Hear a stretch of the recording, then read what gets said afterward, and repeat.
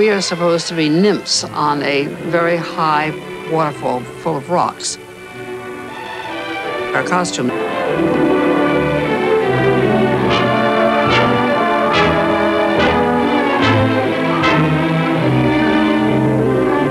In many respects, this is the most frankly erotic material that appeared in Hollywood movies of the time.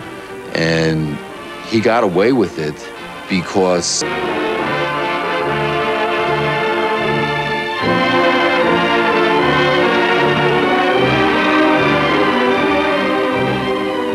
metaphors are impossible to miss. They're mimicking zippers unzipping and you know, all kinds of you know ejaculations, but no one person is doing anything the slightest bit lascivious in the number.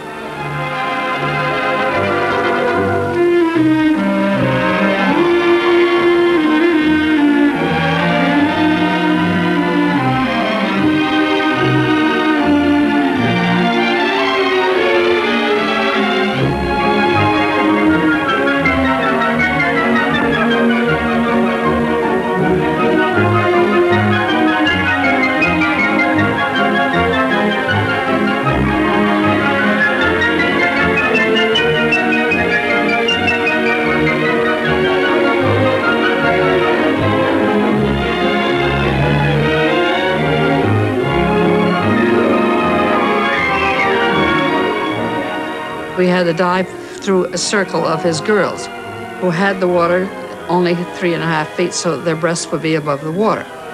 We made this